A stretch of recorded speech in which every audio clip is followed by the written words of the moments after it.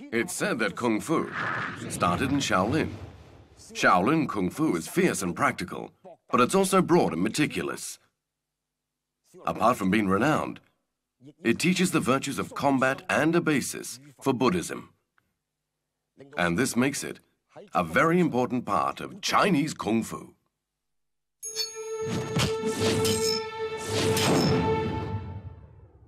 What people see nowadays in films is very different from actual Shaolin Kung Fu. The reason for this is because filming requires a lot of exaggerated movements, which look much better on the big screen.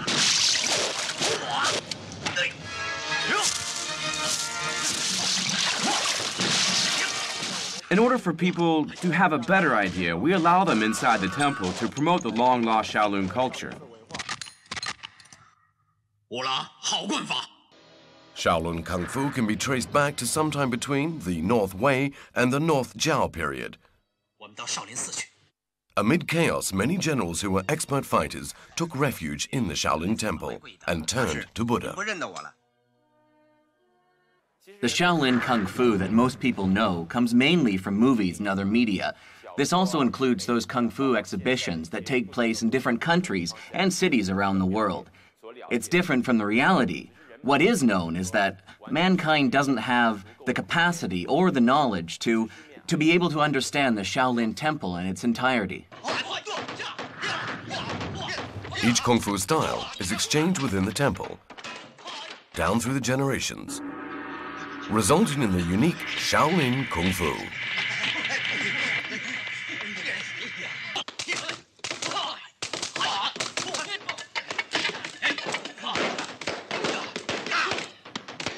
Shaolin Kung Fu started when monks had to protect themselves. Through the strengthening of their bodies, the monks devised many different styles and techniques of Kung Fu. Kung Fu existed before founder Master Mo, but with him were formed the principles of Zen. So meditation and combat were the same thing. So Shaolin Kung Fu isn't only about fists, but about virtues, about soul, about spirit, meditation, and other intrinsic qualities. These are the most important. What the secular pupils practice is really quite different from the disciples at the Shaolin Temple. They generally practice superficial Kung Fu. That's because Shaolin Kung Fu is a lot more complicated and diverse, don't you think?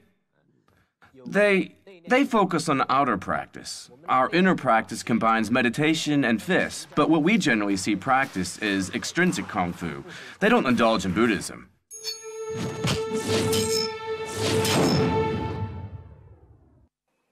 In Shaolin Kung Fu, it's crucial to start with basics, erect posture. Posture is made up of many different styles and techniques. When applying the Shaolin fist, it's got to be straight, but not too straight. Bent, but not too bent. If your arm is too straight, it will slow down the speed of your uh, uh, retraction. And if it's too bent, it won't, won't cover the distance. So the, so the moment the fist is extended is very, very crucial turning like a screw. For the eyes, hands, arms, waist, legs, feet, balance, breathing, directing one's strength. Even exhalation has strict requirements. Arms bent but not too bent, nor too straight. Rolling around, flexible movements. Any kick or punch you throw will affect both of the shoulders. Be it the right or the left leg, the shoulder will always move first. This reveals your weakness. Shaolin Kung Fu is necessary and practical because there's, um, there's nothing fancy about it. Thank you.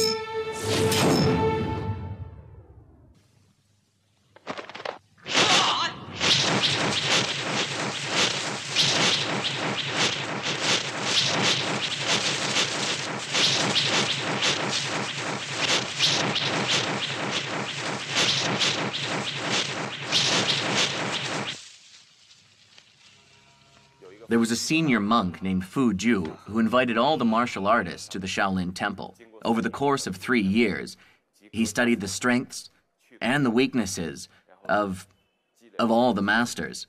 He wrote many fist manuals through the practices of generations of, of monks and blending of different styles, resulting in Shaolin Kung Fu. It has many different varieties. Shaolin martial arts can be divided into two different categories. One is called internal skill, the other external. Internal skill is Qigong and cultivating health. Cultivating health is breath control, exercising the diaphragm.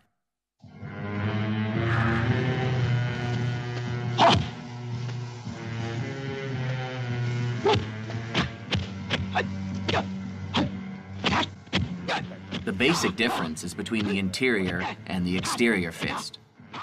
What most people see is the little hung fist.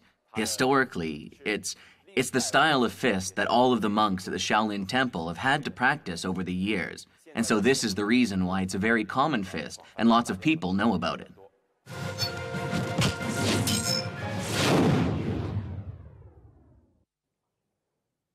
Exterior fist is powerful and very rapid. Amongst the Shaolin fists, Little Hung is mandatory for beginners. It's the mother of the 18 fist. Little Hung shows vital parts of the Shaolin fist. From start to finish, it follows a single line. During training, one's gaze must resemble lightning, following the hands with total concentration. During the routine, from beginning to end, the first movement to the last, you move in a straight line and your body resumes its posture. It's a definite outline. Like this. The fist is straight, but not too straight, nor too bent. Finally, when using the fist in attacking, only one arm is extended. The other one is the other one is always there protecting. Arhat fist is a fine example of the early Shaolin fist. According to the manuals, monk Fu Jiu of the Sung dynasty invented it based on his combat experiences. It's used in both defense and attack. The essence of the Arhat is the extremely distinct exercise of power in it. A series of movements following a rhythm and speed. Unlike the hung fist, where each movement is separate, the Arhat fist is much quicker in, in comparison, more effective with a chain of interrelated movements. Therefore, it's different from the little hung fist. Another crucial feature is that it also requires the monk to achieve the expression and postures. That is to say, the Arhat you're practicing, whether happy or sad, must start with the appearance. Drunken boxing must have a drunken expression. Arhat exhibits a joyful appearance.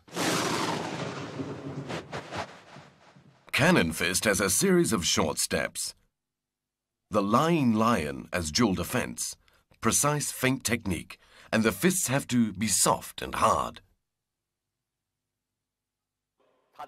The movements are forceful. When in action, it's as powerful as a tiger, but when standing still, it's as steady as the mountains are. But it's very powerful nevertheless. It's an extremely effective technique. The unique part of Cannon Fist is being hard, not soft, true, strong, and firm. Accuracy and immense power are typical of the explosive force and strength of the Shaolin Fist boxing.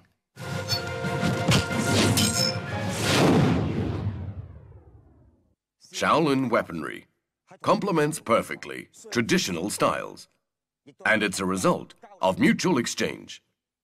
A monk called Fu Jiu invited 18 martial artist masters to stay at the temple. Thereafter, a unique style emerged, and soon Shaolin weaponry was firmly established.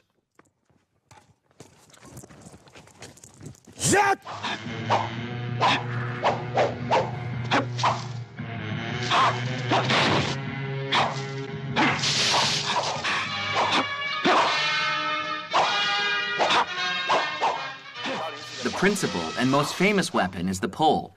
The pole is also the least lethal among all the weapons. Buddhism advocates kindness and forgiving.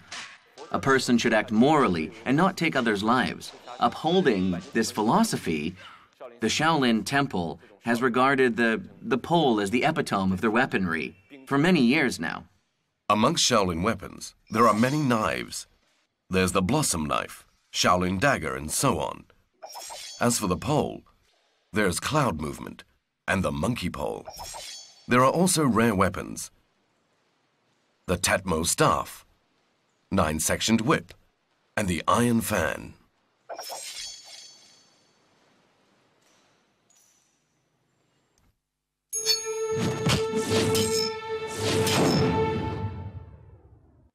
But without skill, a person gains nothing. Shaolin Kung Fu's skilled fist boxing and variety attack, as well as weaponry. Internal skill is Qigong and health skill. Qigong is posturing, the light and hard Qigong, and cultivating health includes the, the well-known eight-sectioned brocade. The eight-section brocade comes from the first two volumes of Master Dat Mo, Relaxation of Tendon and Marrow Cleansing. The first trains one's collateral channels, the second helps dispose of the body's toxins, thus accelerating metabolism both inside and out.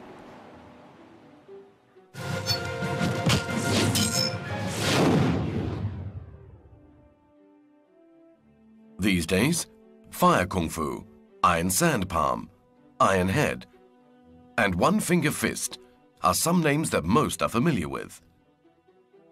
Formerly, according to Shaolin boxing texts, the Shaolin Temple has 36 hard skills and 36 supple skills secretly shared within the monastery without any written records.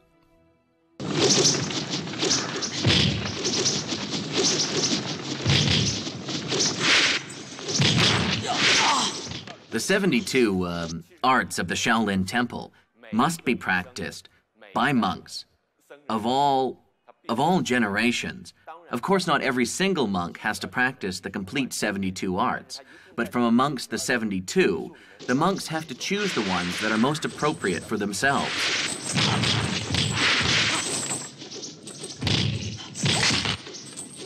The main reason to have these tests is if if they don't have the mindset to practice this kung fu and attain a certain level of thought, then there's just no point in it, in them practicing. Shaolin's 72 arts bring out the potential in everyone. Utilizing the unique knowledge and Zen determination, one practices Kung Fu beyond expectations.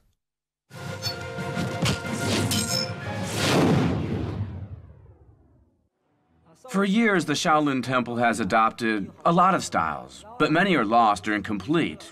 We can only try to analyze and preserve the present ones.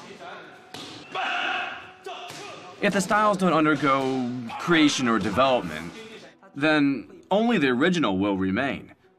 Although much progress in this regard isn't likely, our Shaolin Temple will gradually develop more.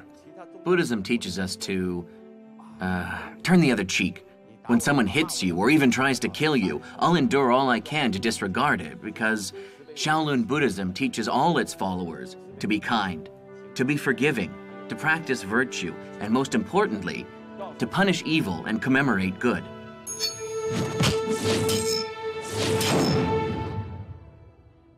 Our main aim in practicing is for meditation. Meditation. The aim isn't for um, competition. You know.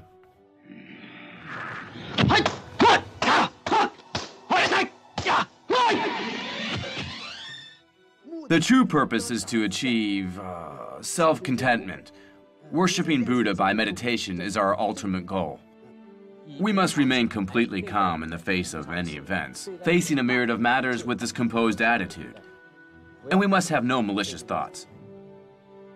When Master Datmo arrived at Shaolin, spreading Buddhism and the theory of Zen, he merged martial arts with meditation. Besides martial arts, the aim is refining one's ethics.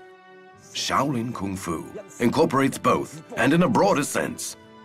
Today, Shaolin disciples are found across the globe